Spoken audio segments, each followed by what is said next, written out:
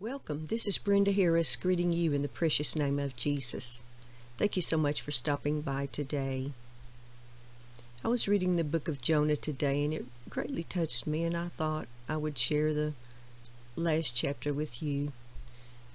But remember, God had spoken to Jonah and told him to go preach to that great city, Nineveh, and tell them to repent, or they would be destroyed.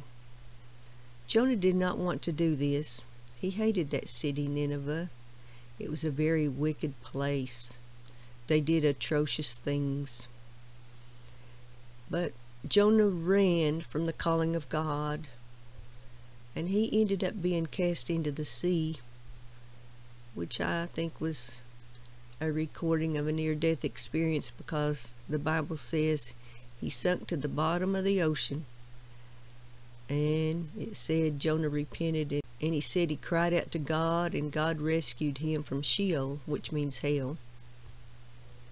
But Jonah decided to go ahead and obey God after that and so God told that big fish to cough Jonah up because that big fish had come along and and swallowed him down to his belly and so the big fish obeyed God, and Jonah ended up on the shore. And he went and preached to that city, Nineveh. And lo and behold, they repented. Imagine that. When they heard the word of God preached, they repented. So God changed his mind about destroying that nation. But I'll read the last chapter of Jonah to you. It says, But Jonah was greatly displeased and became angry. He prayed to the Lord, O Lord, is this not what I said when I was still at home? That is why I was so quick to flee to Tarshish. I knew that you are a gracious and compassionate God, slow to anger and abounding in love, a God who relents from sending calamity he wanted those Ninevites to be killed and destroyed. Now, O Lord, take away my life, for it is better for me to die than to live. And we need to preach to the lost. No matter how terrible they are, they need to be preached to. They need to hear the word of the Lord so that they won't end up in that horrible place called hell. And Jonah said, Now, O Lord, take away my life, for it is better for me to die than to live. But the Lord replied, Have you any right to be angry? And it made me kind of chuckle the way God was speaking to Jonah. He just speaking with him. And just think God could squash Jonah like a bug, but he didn't do it. God loves people even when they have disobeyed him. But thankfully, Jonah did repent. But Jonah went out and sat down at a place east of the city. There he made himself a shelter, sat in its shade, and waited to see what would happen to the city. Then the Lord God provided a vine and made it grow up over Jonah to give shade for his head to ease his discomfort and Jonah was very happy about the vine. But at dawn the next day God provided a worm, which chewed the vine so that it withered. When the sun rose, God provided a scorching east wind, and the sun blazed on Jonah's head so that he grew faint. He wanted to die and said, It would be better for me to die than to live. I mean, this guy keeps saying he wants to die. He had a chance to die earlier when he sunk in that ocean, remember? But I think it's notable that it says that God was in all the proceedings. He said God provided the worm, and that worm chewed that vine. And then God provided a scorching east wind, and the sun blazed on Jonah's head so that he grew faint. Now, why would God provide that scorching east wind and it would make Jonah grow faint. I think sometimes God puts people through tests. It's the only thing I can think of. God has a purpose in everything he does. Maybe he wants to teach Jonah a lesson. But God said to Jonah, Do you have a right to be angry about that vine? See how many times God has to say to Jonah, Do you have a right to be angry? And Jonah says, I do. I am angry enough to die. But the Lord said, You have been concerned about this vine, though you did not tend it or make it grow. That was the point. God was going to make a point to Jonah. It sprang up overnight and died overnight. But Nineveh has more than a hundred and twenty thousand people who cannot tell their right hand from their left, and many cattle as well. And God says, Should I not be concerned about that great city?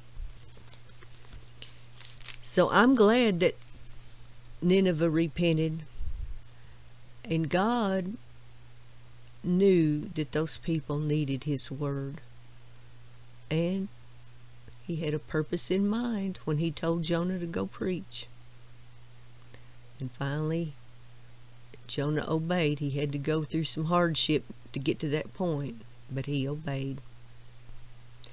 And you know, God still works miracles. He still works miracles today. I was listening to this preacher tell about what happened to this young girl she was molested sexually by her stepfather. And she went and told her mother. And her mother slapped her and told her to shut up.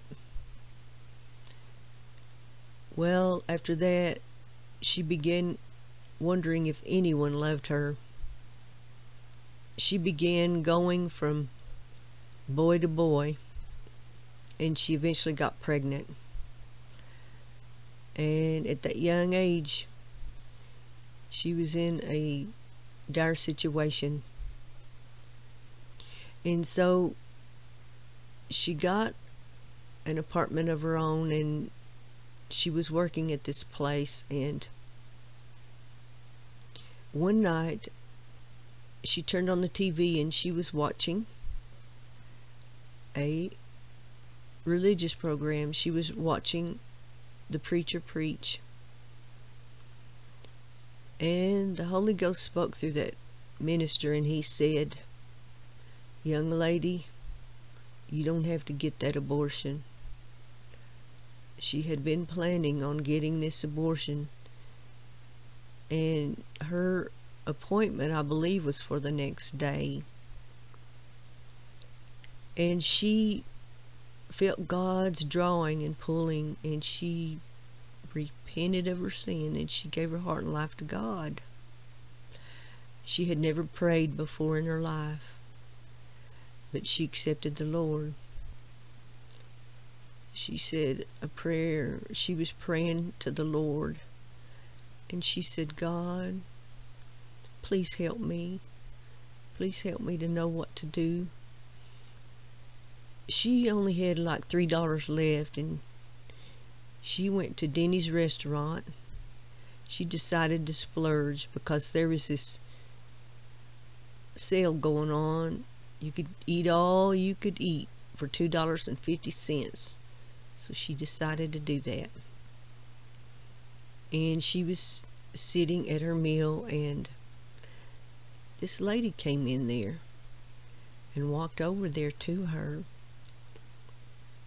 and she said, Young lady, I was praying and God spoke to me and said that there was going to be a young lady here this morning and that you were going to get an abortion. And she said, Don't get that abortion. In fact, come home with me and I'll provide you a place to stay and to live until your baby is born. So God worked a miracle for that young woman. She had just given her heart to the Lord the previous night, 10 hours earlier, and God worked a miracle. God answered her prayer. And she cried out to God. She said, Lord, show me what to do. And he did. But the Lord wants to help people. The Lord wants to save, heal, and deliver people. That's what He does. And He does a great job at it. And I love Him, don't you? I appreciate all He does. Remember, God loves you, and so do I. Amen.